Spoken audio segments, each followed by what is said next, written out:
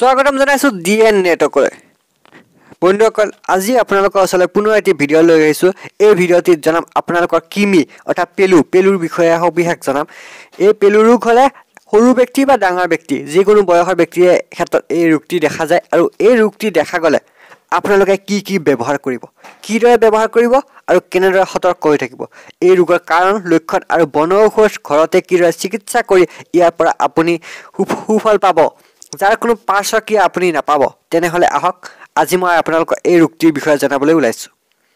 বন্ধুসকল কিমি। কিমি ৰোগৰ কাৰণ। বাহী গন্ধযুক্ত মাছ মাংস আৰু তৰকাৰী খোৱা কীটযুক্ত অপৰিষ্কাৰ কেঁচা ফল খোৱা মাটিৰ পৰা বস্তু খোৱা আদি মাটিত পৰা বস্তু খোৱা আদিৰ কাৰণে এই ৰোগ হোৱা দেখা যায়। মাছ মাংস গন্ধযুক্ত মাছ মাংস তৰকাৰী কীটযুক্ত অপৰিষ্কাৰ কেঁচা ফল খোৱা আৰু মাটিত পৰা বস্তু খালে আপোনালোকৰ কিমি বেছিকৈ হয়? শৌচ খোলচা নহ'লেও এই ৰোগ হয়। গতিকে বন্ধুসকল এইবাৰ আপোনালোকক জনাবলৈ ওলাইছোঁ কিমি ৰোগৰ লক্ষণ। কিমি ৰোগ হ'লে পেট বিষাই পেট ফুলে মলদ্বাৰ আৰু নাক খোজোৱায়। মুখত অনবৰতে থু আহি থাকে ৰাতিপুৱা টোপনি দাঁত কামোৰে আৰু মুখত দুৰ্গন্ধ হয়। লক্ষণকেইটা আকৌ এবাৰ কৈ দিছোঁ আপোনালোকক। পেট বিষাই পেট ফুলে মলত দ্বাৰা আৰু নাক খোজোৱায়। মুখত অনবৰতে থু আহি থাকে। ৰাতিপুৱা টোপনিত দাঁত কাম টোপনিতে দাঁত কামোচ যায় আৰু মুখৰ দুৰ্গন্ধ হয়।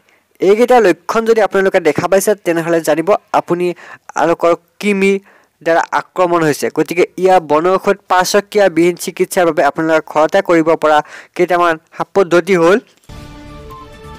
প্ৰতিটো সমস্যাৰ সমাধান লৈ ডি এন নেটৱৰ্ক। প্ৰতিপল প্ৰতিক্ষণ আপোনাৰ কাষত।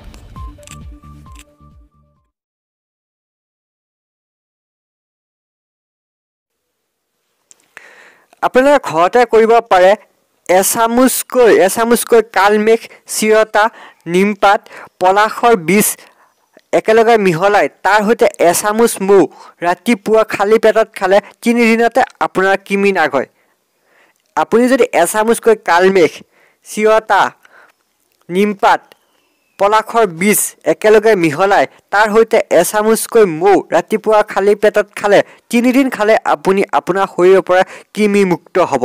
গতিকে বন্ধুসকল এইদৰে ব্যৱহাৰ কৰিব আৰু এই কিমি ৰোগ হ'লে খাব আপুনি লঘু অথচ পুষ্টিকৰ আৰু পুষ্টিকৰ খাদ্য আহাৰ খাব লাগে কল গুৰ চেনি চাহ কফি আদি নাখাব। তেনেহ'লে বন্ধুসকল চাই চাই থাকিব ডি এন নেটৱৰ্ক প্ৰতিপাল প্ৰতিক্ষণ আপোনাৰ কাষত।